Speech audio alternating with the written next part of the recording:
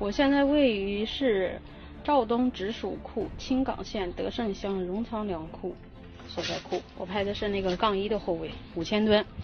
呃，然后出现一个什么情况呢？哈，六月十九日拍的一次性储备挂的那个标准是六百七十七的容重，呃，水分十三，呃，从那个六月二十五号出库第一天给装了八吨，然后呃第二天装了十七吨，呃，现在。属于什么情况？给你们看一下这个粮。首先跟大伙看一下啊，呃，整粮的所有的朋友们，应该对去年的那个九斤粮水泡粮，呃，有印象吧？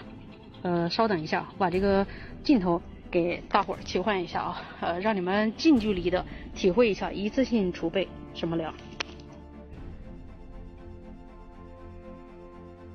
所有整粮的朋友们都应该了解，去年大庆、肇州那边那种水泡粮吧，就是这样的。嗯，呃，无法通过这个视频让大姐闻到这个酸不溜叽的味儿，但是，嗯，整过粮的就应该知道那是一种什么样的味道。你们看这个粒儿型，看这个粒儿型，这是一一六的一次性储备粮吗？看一下啊，看这个粒儿型。看这个水泡粮的粒儿型，所说的话可以负一切法律责任。呃，刚才那个库点儿方，这是属于肇东直属库租的，他们荣昌的呃杨永新的